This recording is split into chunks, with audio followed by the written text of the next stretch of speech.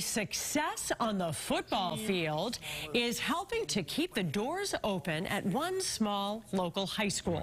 For years, St. Bernard's in Fitchburg had really been struggling financially. Absolutely, but thanks to back-to-back -back football championships and a lot of community support, things are turning around. Hmm. And as WBZ's Paul Burton tells us, the team hopes their story will help inspire others.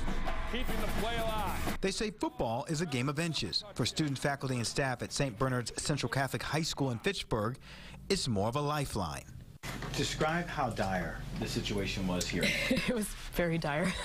we were um, we were inches away from closure.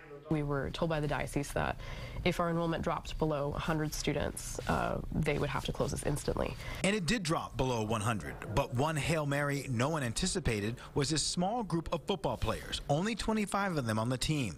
It was really hard. Um, it felt like the whole pressure of the school was on us, and we just kind of had to we had to win.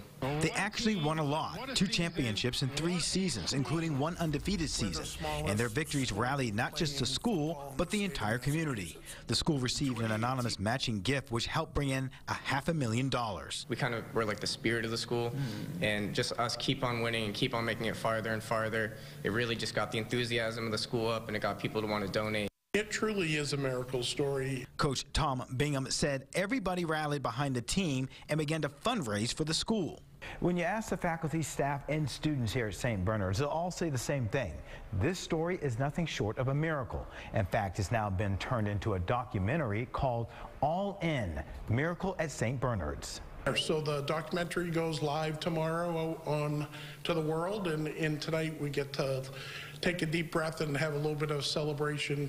Bingham says there are so many lessons to be learned, but one specifically for the players he coaches. That bad things happen, and like you're measured on how you respond to that. To date, the school has raised more than $2.7 million. Principal Anderson says there's a lot to be said about faith, family, and football. It was right by the hair on our chinny chin chins. it was very close. But enough to get the ball past the goal line and keep the doors of this 100 year old school open for years to come. In Fitchburg, I'm Paul Burton, WBZ News.